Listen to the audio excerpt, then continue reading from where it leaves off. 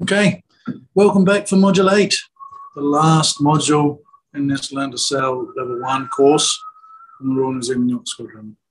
So in this module, we're looking at the all-important man overboard recovery drill. Man overboard might sound a little bit sexist. Unfortunately, POB, person on board, was already taken. So man, man overboard, I like to think of that as human overboard. So, you know, obviously we'll come and pick everybody up, not just the guys. Um, I'm sorry, ladies, that that term seems a bit sexist. So during the America's Cup, we um, there was a few men overboards, but they had ribs following them and come and picking them up. So they didn't need to do this maneuver, but I'm sure everybody on board could have done it. So here we have a person in the water, and like the slide says, it, it's certainly a nightmare for me. Um, I want to know that everybody on the course is wearing a life jacket, and at the very least, they're going to be floating if they fall into the water. Then all I need to do is go and pick them up. You know, there's a lot of pressure on the skipper to be able to get back and pick them up because the person's going to die if they don't get picked up. You know, in Auckland, he'd probably be in the water for maybe one or two days without dying of exposure. In colder climates, it might be one or two hours. So we need to get back to that person. We need to pick them up. The life jacket is going to do us a really good job and give us some time to do the maneuver, turn the boat round and get it back. We need to do that though safely we need to not injure anybody else that's on the boat. Um, here we've got a video of uh, someone getting wet. Uh, in particular, just pay attention to this guy's head.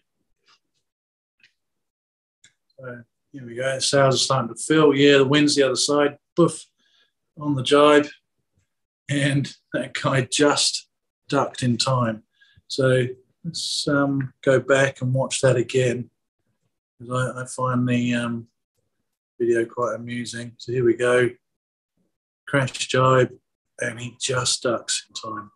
Wow, that was close to his head. Here we go. Watch his head. Cool. So close. That was very nearly a head injury. We've got someone in the water. That was a crash jibe. So they didn't mean to jibe. Unfortunately for them, they're all looking in the water and they haven't noticed that the head sail is filled. So they are about to jibe again. And this time I wonder if the, the person does get a hit on the head. Fortunately, that's all the video we've got. I would have liked to have seen the next 30 seconds, but there we go. That's someone getting wet. Also, we've got the person here. Bowmen are a special breed of sailors. They like getting wet he's trying really hard, gripping onto the forestay with his feet. But unfortunately, I hope he's a good swimmer because he doesn't seem to be wearing a life jacket. But he's probably not going to stay on that boat. Here we've got a photograph of someone jumping off um, a round the world yacht racing boat. So a few years ago, we had the Volvo Ocean Race pay a visit to Auckland and during their in-port race, they often have celebrities on board all of the boats. The end of the in-port race is the start of the next leg. I'm not quite sure who this was, but he obviously doesn't want to go to Brazil and he's getting off the boat. And again, they've got a rib to come and pick that guy up. That was intentional. Staying calm when someone you care about is in the water is really difficult but it's something that we must go into super professional mode and just do this maneuver very mechanically without emotions. If we're panicking, thinking that our loved one is going to die, then you know we're going to pile a whole load of pressure on ourselves and make it very hard to do this maneuver. So do your best to stay really calm, and we're going to get this person back within a few minutes. So the person who witnesses the man overboard, normally that's that person, wants to shout, man overboard. We need that person to point at the person that's in the water Wherever they go, as the boat turns, we need to have eyes on them all the time. It's very easy to lose sight of someone. You know, the boat turns, and when you look back, you're looking at a different bit of the sea, and there's no landmarks necessarily to help you. It's just a blank canvas, and where on that blank canvas the person is, you don't know. It's a really good idea to throw stuff into the water. So anything that floats, sea cushions, chili bin, trash, okay, I don't really want to pollute the water, but I do want to get that person back. And if we create a debris field, a larger area for us to aim the boat into, maybe we can find that person in the middle of that debris field. So point, shout, throw. That's the first procedure that we're going to do. And that's really important that we keep an eye on that person. So in terms of survival times, uh, not that nice to think of, of how long we're going to survive in the water. Uh, luckily, in Auckland, we have we're in this band here, so 16 to 21 degrees. So the water's that temperature all year round. So we've got several hours, maybe even up to 40 hours, where we can be rescued. If the water temperature is colder, then we only have a few minutes before hypothermia is going to do its, its thing. So we need to get back to that person. The life jacket will keep them on the surface uh, if they're wearing a life jacket. So we just need to find them and get them back on board. This maneuver will help us do that in a very safe way. So here we go. We've got a boat coming in to pick someone up. It must be a rough day. They've got all their sail reefed here. Their furling head sail is rolled up. They've only got a little bit out. So they've depowered their boat as much as they can, but they're still heeling quite a bit. And they're coming over to pick this guy up. It is essential that we do everything in our power to not end up in the water. We really don't want to be doing this man overboard drill for real. And wearing a life jacket will significantly improve the chances of survival you know, looking for someone that's on the surface, you know, you've got a chance. In full wet weather gear, you're lucky if you're going to be able to swim for very long. If you've trapped some air under your jacket, you might stay afloat for a little while, but once that air escapes out the neck hole, you're probably going to drown. So wearing a life jacket is a really smart idea. They're not massive, they're quite small, It's certainly the inflatable ones, and they can be automatic. So, you know, if, if you're unconscious when you go in the water, it automatically inflates and turns you the right way up. It's a really good idea to get, invest in some equipment to keep your life. Um, yeah, so it's a little bit grim, but hopefully we can do this maneuver really well and we can have some really good outcomes and rescue some people. The things that we need to keep in mind are definitely the maneuverability and the, how the boat moves, the systems on board. So if we've got sails that roll up really easily, then maybe we want to roll the sails up. If they're a bit awkward coming down, maybe we're going to leave the sails up. You know, how easy is it to start the motor? The size and the weight of the individual that we've got to retrieve, well, that makes actually getting them back on board a bit difficult and give you some tips on how we're going to do that in a little while the experience of the crew and the level of training. Well, we need to train and, and practice this maneuver regularly. Make sure everybody on board knows how to do this. Consciousness, yeah, if someone's unconscious, they're wearing a life jacket that's inflated, they'll be fine, they'll be the right way up and they'll be floating. But they won't be able to get back on by themselves. So they're going to need us to help them Normally, it's bad weather when people fall in the water. So we're likely to have rough conditions, and we need to think about those conditions. Let's have a look at this photograph now. So here we've got somebody in the water. They don't appear to be wearing a life jacket. The boat that they've fallen off, none of them have got life jackets on. This guy here is very generously holding out an arm to pull the guy back on board. Um, unfortunately, this here is a downwind sail. That's a gennaker. So their sails are eased a lot. The waves look like they're going in that direction.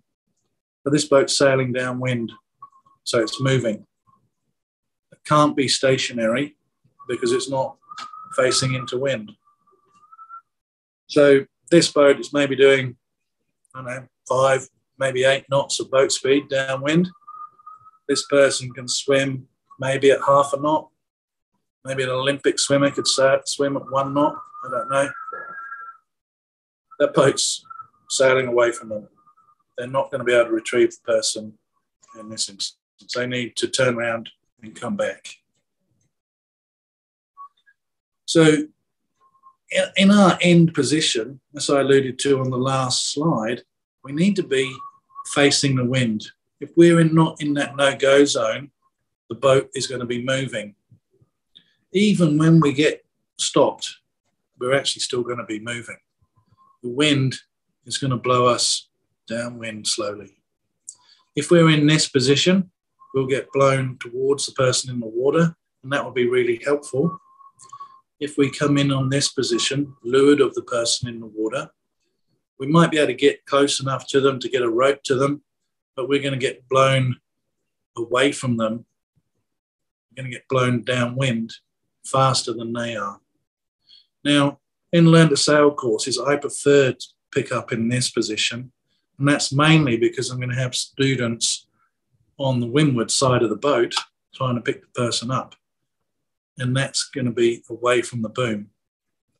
If we've got people on the leeward side of the boat, then the boom is going to be flapping around and potentially injuring someone.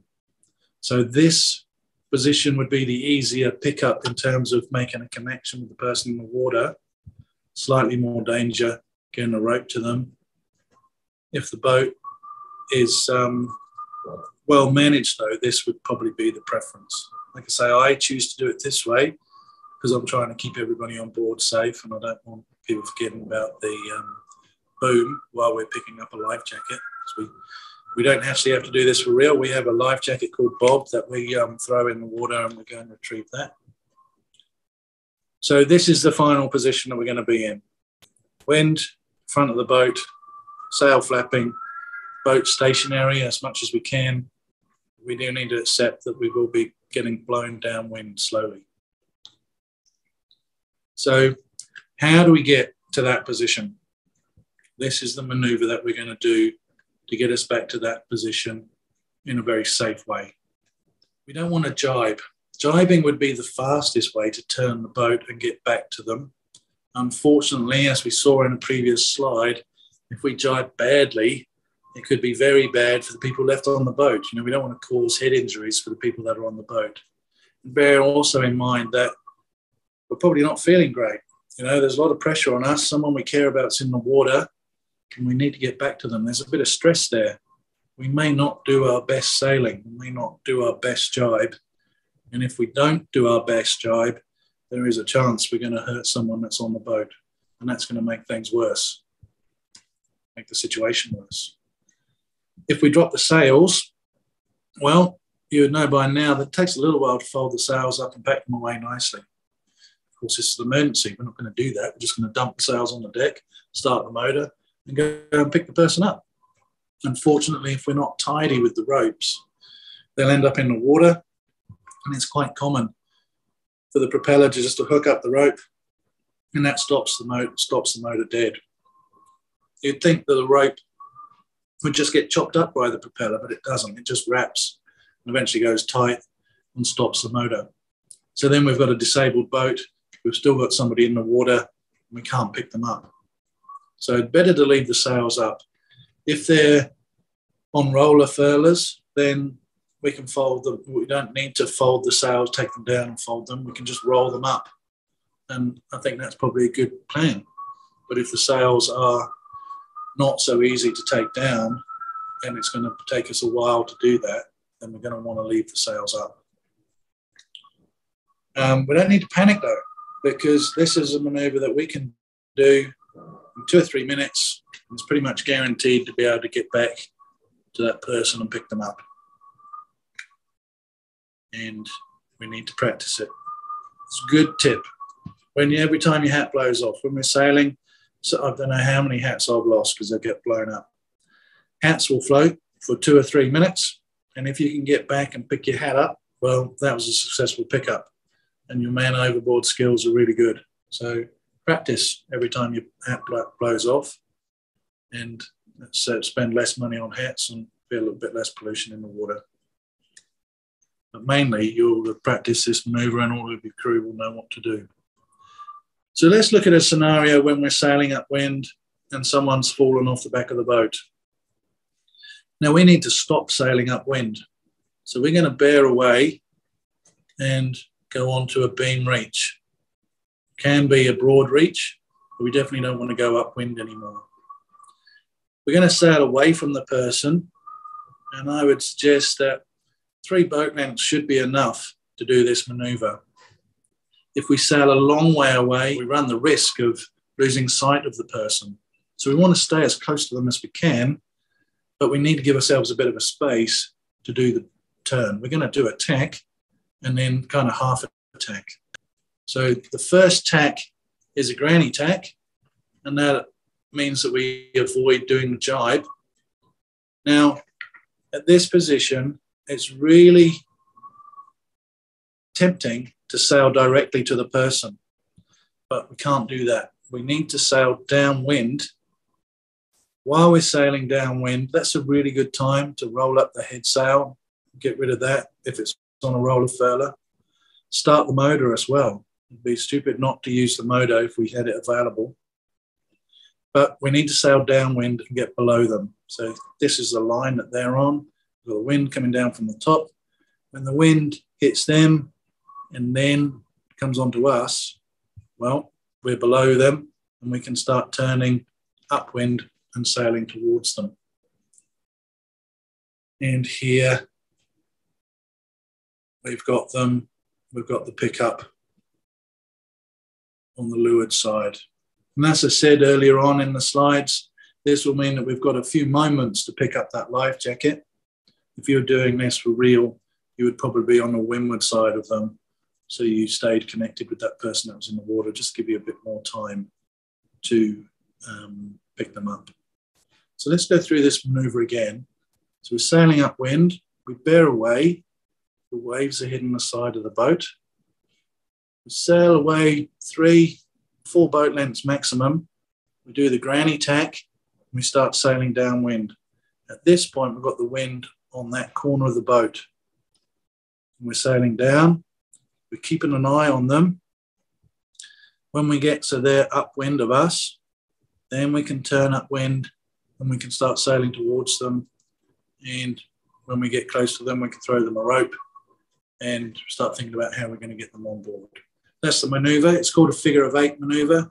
I like thinking about the waves and where they are relative to the boat because it helps me thinking about where I am in that figure of eight maneuver.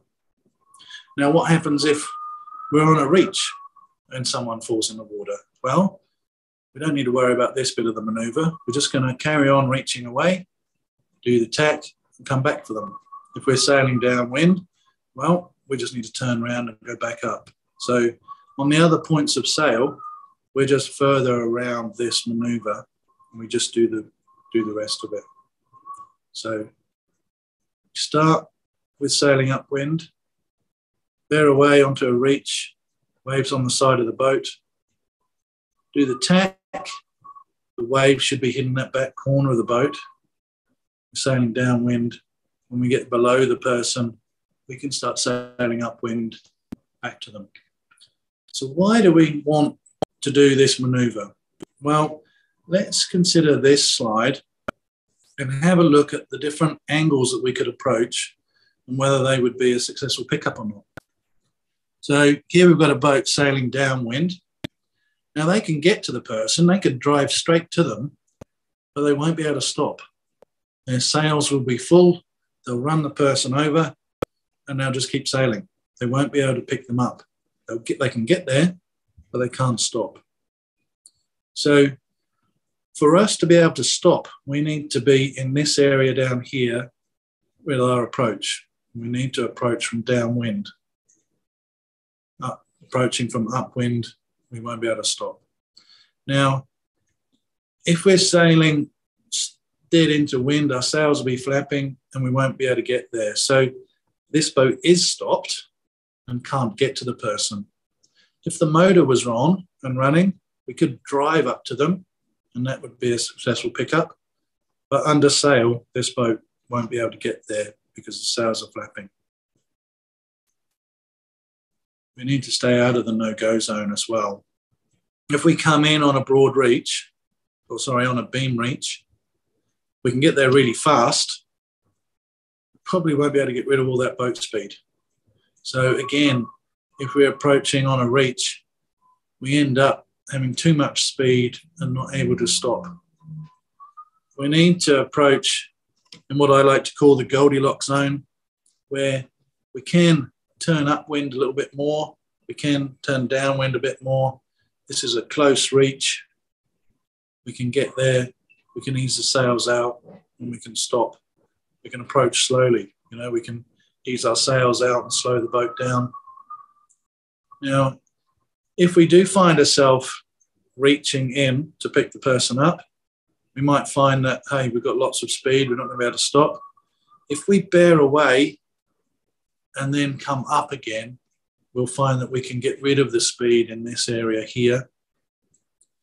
If we find we're sailing in the no-go zone and our sails are just starting to flap, if our motor's running, we can drive up, same as this boat.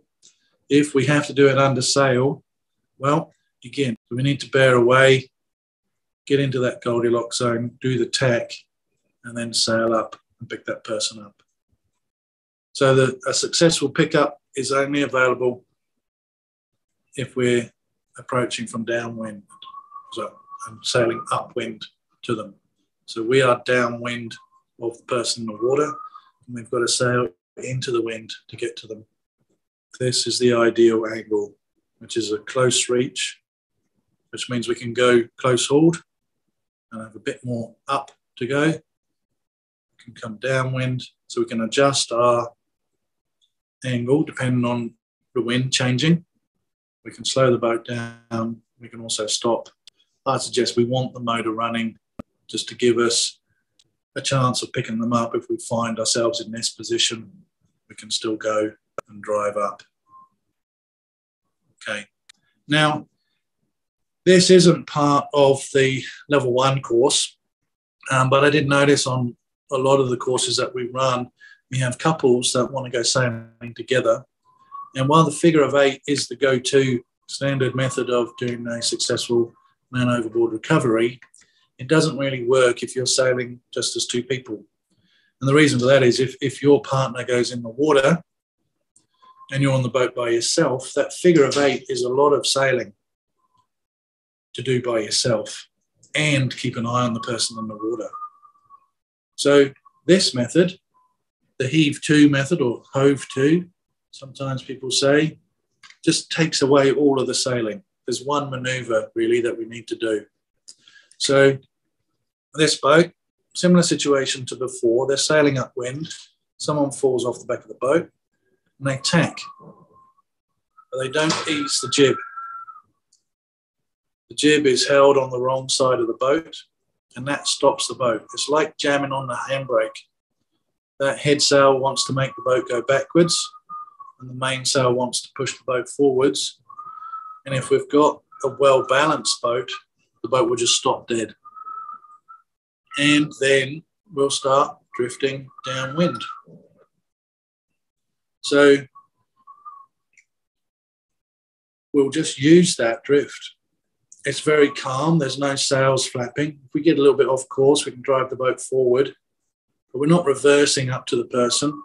We're just using the the wind to blow us down onto the person, and that is a successful pickup.